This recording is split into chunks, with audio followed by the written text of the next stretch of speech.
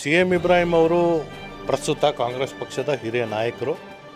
ಅವರು ಮೈಸೂರು ನಗರಕ್ಕೆ ಬಂದಂತಹ ಸಂದರ್ಭದಲ್ಲಿ ಅವರಿಗೆ ಆಹ್ವಾನ ನೀಡುವಂಥದಕ್ಕೆ ಕೆಲವು ನಮ್ಮ ಕಾರ್ಯಕರ್ತರು ಅವ್ರನ್ನ ಸ್ವಾಗತಿಸಿದ್ದಾರೆ.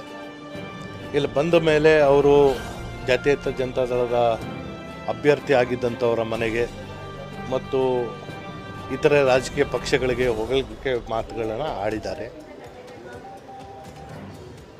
ಈ ವಿಚಾರದಲ್ಲಿ ಅವರು ಈಗಲೂ ಕಾಂಗ್ರೆಸ್ ಪಕ್ಷದಲ್ಲೇ ಇದ್ದಾರೆ. ಯಾವುದೇ ತೀರ್ಮಾನ ಇನ್ನೂ ಹೇಳಿದ್ರೂ ಅದರ ಮೇಲೆ ಅವರು ನಡ್ಕೊಂಡಿಲ್ಲ. ಮನಸ್ತಾಪ ಇರುವಂಥದ್ದು ಬಹಿರಂಗವಾಗಿ ಗೊತ್ತಾಗ್ತಾ ಇದೆ.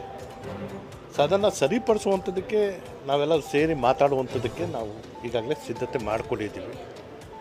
ಅವರ ಜೊತೆ ಮಾತಾಡಿದ ಮೇಲೆ ಅವರ ಮುಂದಿನ ನಡೆ ಏನಿದೆ, ಅವರು ಹೇಳ್ತಾ ಇರುವಂಥದ್ರಲ್ಲಿ ಅವ್ರನ್ನ ಬೆಂಬಲಿಸುವಂತಹ ಅವಕಾಶ ಬರುತ್ತೋ ಅಥವಾ ಅವ್ರನ್ನ ನಾವು ಹೇಳೋ ಮಾತಿಗೆ ನಮ್ಮ ಜೊತೆಗೆ ಇಟ್ಕೊಳ್ಳುವಂಥದ್ದಕ್ಕೆ ಸಾಧ್ಯ ಆಗುತ್ತೋ, ಇದನ್ನು ನೋಡಬೇಕಾಗುತ್ತೆ.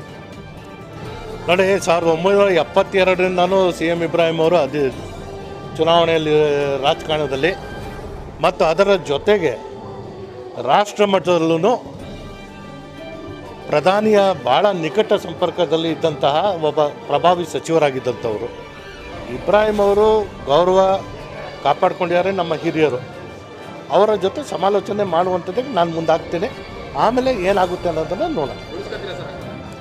ಖಂಡಿತವಾಗಿ ಉಳಿಸ್ಕೋತೀವಿ ಈ ಹಿಂದೆ ಎರಡು ವರ್ಷದ ಹಿಂದೆನೇ ಹೇಳಿದೆ, ಇಬ್ರಾಹಿಂ ಅವರು ಎಲ್ಲೂ ಹೋಗಲ್ಲ, ನಮ್ಮ ಜೊತೆನೇ ಇರ್ತಾರೆ ಅಂತ ಎರಡು ವರ್ಷ ನಮ್ಮ ಜೊತೆನೇ ಇದ್ದರು. ಈಗ ಮತ್ತೆ ಅವರು ಹೊರಗೆ ಹೋಗ್ತೀನಿ ಅಂತ ಹೇಳ್ತಾರೆ, ಉಳಿಸ್ಕೊಳ್ಳುವಂಥದ್ದಕ್ಕೆ ಎಲ್ಲ ಪ್ರಯತ್ನ ಮಾಡ್ತೀವಿ. ವಿರೋಧ ಪಕ್ಷದ ಯಾವುದಾದ್ರು ನಾಯಕರಿಗೆ ನಾವು ಸನ್ಮಾನ ಅಥವಾ ಸ್ವಾಗತ ಮಾಡಿರ್ತಾ ಇದ್ರೆ ತಪ್ಪು. ಕಾಂಗ್ರೆಸ್ನಲ್ಲಿ ಇರೋರಿಗೆ ಸ್ವಾಗತ ಮಾಡಿದ್ದೀವಿ. ಪಕ್ಷ ಕಟ್ಟಬೇಕಾಗಿರುವಂಥ ಜವಾಬ್ದಾರಿ ನನ್ನ ಕಾರ್ಯಕರ್ತರಿಗಿದೆ. ಅವರು ಪಕ್ಷ ಕಟ್ಟುವಂಥದಕ್ಕೆ ನಮ್ಮ ಪಕ್ಷದ ನಾಯಕರಿಗೆ ಸ್ವಾಗತ ಮಾಡಿರುವಂಥದ್ದು